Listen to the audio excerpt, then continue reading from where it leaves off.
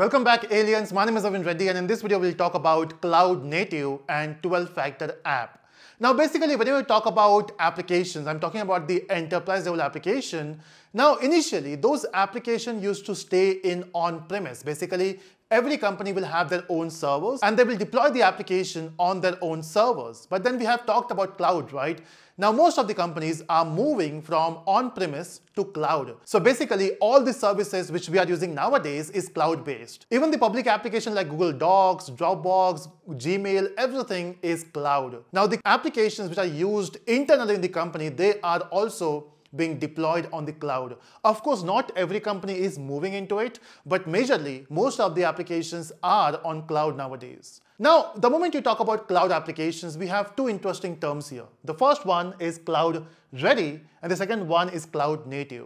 And then it's important to understand the difference between these two. See, what we expect from a cloud application is the cloud services. The moment you talk about cloud, it provides a lot of different benefits, right? Benefits in terms of cost, benefit in terms of scaling, and benefit in terms of less issues, right?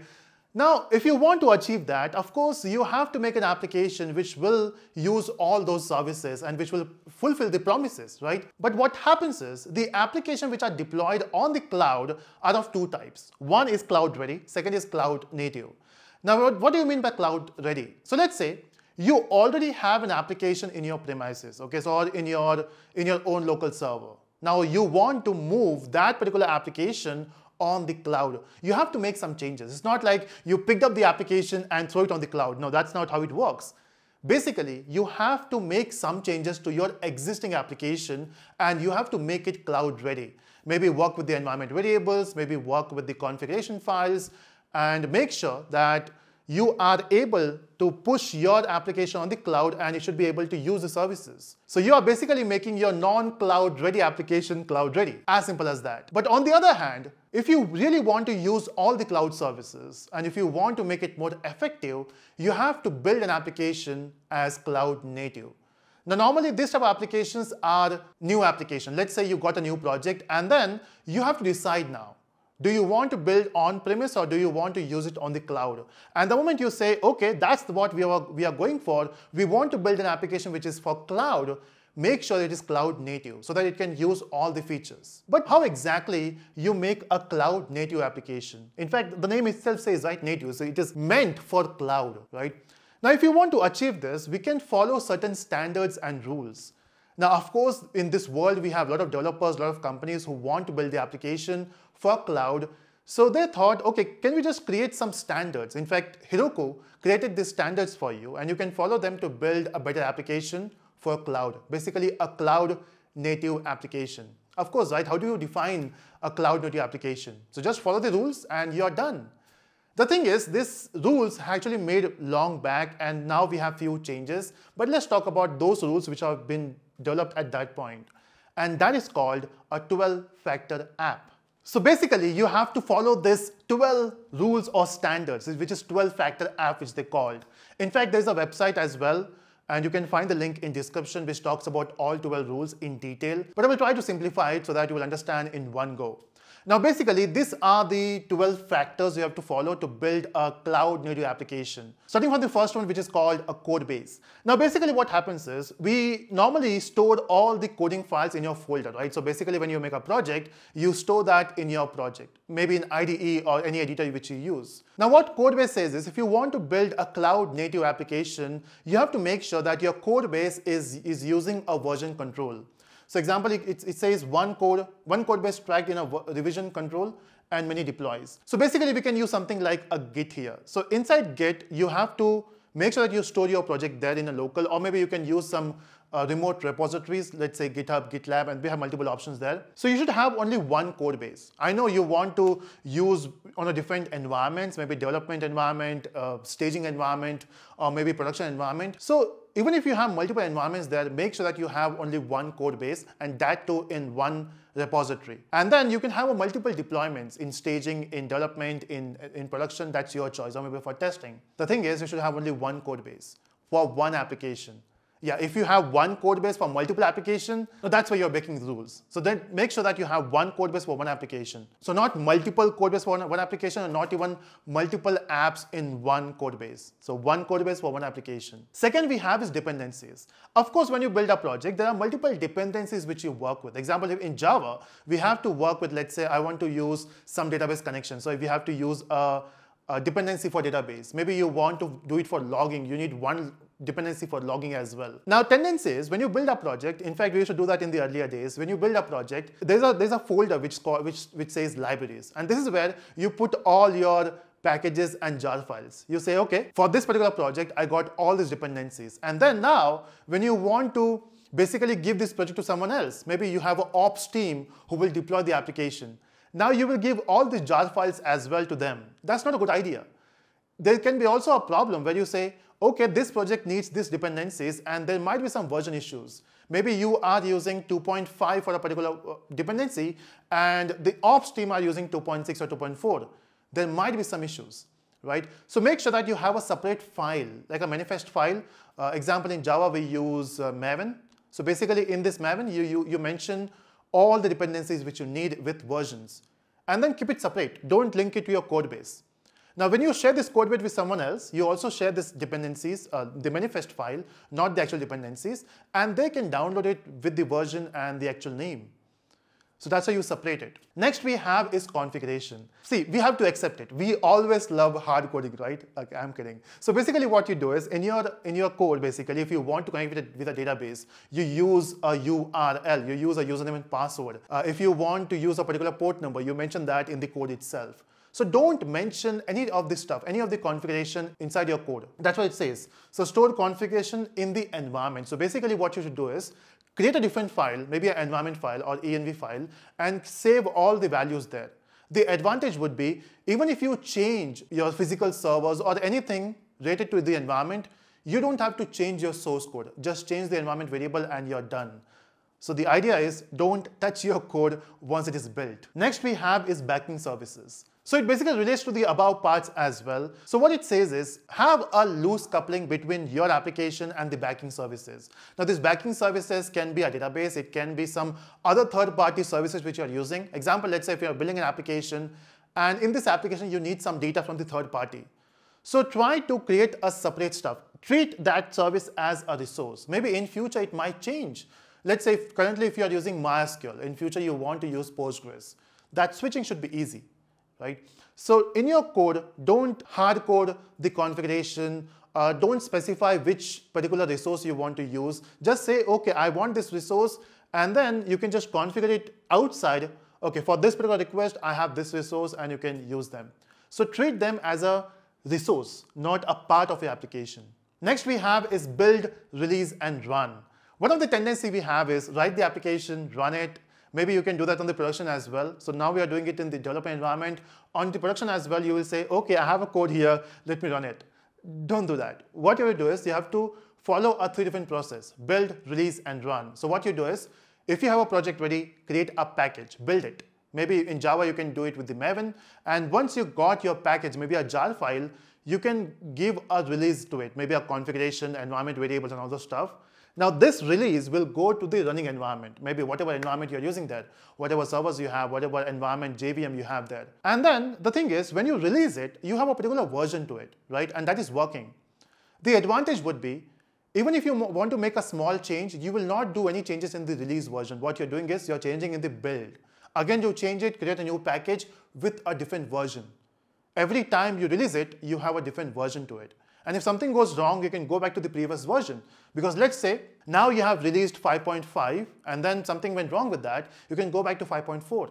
Or let's say in the 5.5, everything is working, you got a new feature, you just use it, uh, build a new one, 5.6 and release it. So versioning is very important there as well.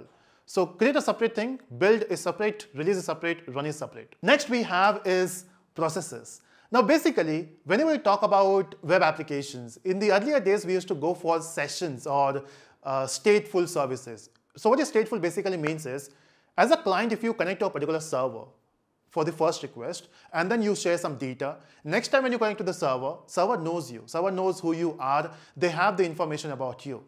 Is a good thing? Of course, right? Next time when you go there, you don't have to uh, tell everything. You can simply say, I was there, uh, I came there yesterday and now I'm here with a new request. The thing is, by doing this, you are limiting your resources. Basically, you're saying, okay, you got this stateful service, and what if something goes wrong with the stateful service? A client will say, okay, I was there yesterday. The data is lost now. So the idea is instead of going for stateful, go for stateless, where every process is just a process, it's not storing any data in the process. So every time you get a new request, you say, okay, I got your, I got your request, let me process it. And if, if there's any data involved, the data should be coming from the attached resource. It can be a database or some other server. But make sure that you're not storing anything in your particular session. Uh, so we call, we call them as sticky sessions. Uh, so don't do that. So every process will be stateless where you don't have any data. The advantage would be at any given point you can remove the process and it should not be any matter because the moment you re remove the process, data is not lost because data is stored in a permanent storage, a database. Or maybe if you want to scale up, maybe you want to get multiple process and a client will not even know which process it is going through. Maybe first time it went for process 1, next time it's going for process 2, which are the same application, but then we have multiple instances of it. Next we have is port binding. So basically every service will be having a unique port number.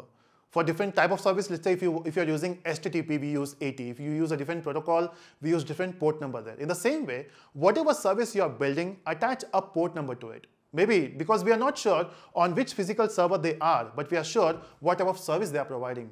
So every service will have a port number. So that's why it says export services via a port binding. And that's why when you build multiple services, let's say in microservices, every service will have a different port number.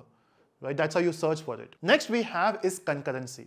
The thing is, different programming language have a different way of doing multi-threading and multi-processing. Now basically in Java, that's the advantage, we have a multi-threading concept. But the thing is, even if you're using multi-threading, it can go, it can scale to a limit. Because if you're using a particular machine and you're saying, okay, I want to use multiple threads and I want to use the complete power of this machine. But of course, machine has a limit there, right? Of course, you can do a vertical scaling. Now, you, let's say if you're using i7 machine and with a 64 GB RAM, and now you're thinking, okay, we have to increase the speed of it and the capacity. You can simply go for i9 processor and you can increase the hard drive to 128 or you can increase your RAM to 128 GB. But still, there is a limit, how far you can go with it. That is vertical scaling. So what concurrency model says is instead of going for vertical scaling, you can go for horizontal scaling, which is the scale out. So basically, instead of using one machine or one instance, you can go for multiple instances. That's how you should build an application. You should be able to create multiple instances of the same service. Next we have is disposability. The thing is, every time, in fact, we, whenever you learn a programming language, you learn this, right? Every time you open the resource, make sure you close it. Every time you start the service, make sure you're connecting to the different services which is dependent on. Example, let's say your application is dependent on a database. So the moment you start your application, it should be able to connect to the database. But what about if you want to dispose a service? It should be easy. The moment you say, okay, I have multiple instances now for the same service, and now I want to dispose one service here, it should be possible. And also, you should not lose any data. It can be system failure, it can be any problem, but you should not lose data. And that's why if you feel something goes wrong with the system, if you want to shut down properly also, save all the data in the database so that you can close it properly.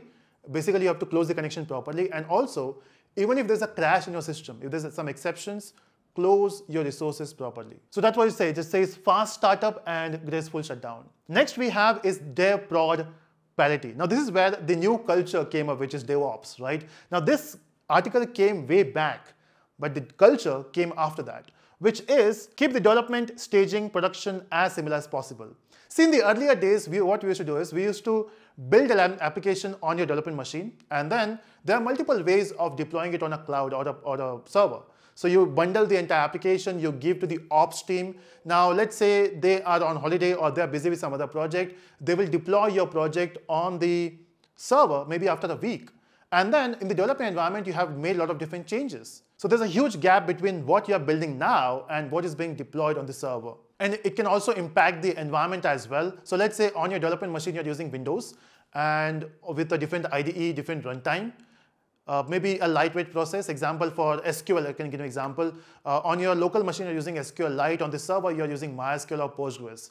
because you don't want to install Postgres on your machine. So in that case, if you are building in a different environment and you're giving it to, to, a different environment, there might be some issues. Of course, the ops team will say, okay, we have to make all these changes, they have to communicate, and there will be a delay between the communication. But what if the dev team and ops team come together and they start working together? So as a development team itself, what if you are developing it and you are pushing the code on the server and not weekly or monthly?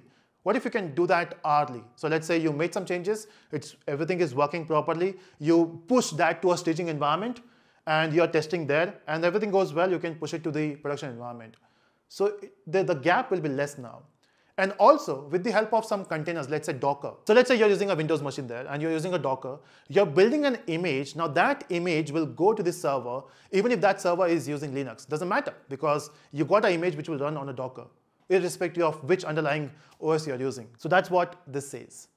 In fact, we also have a concept of CI/CD, continuous integration, continuous deployment or delivery. So even that is emerging from here. Next we have is logs. These are actually very important. For a developer, you know, every time you are building an application, if you want to see what is happening, you use system.out.println or you print something on your console, right? And that's how you know what is happening, right? So in the if condition, you put, hi, I'm here.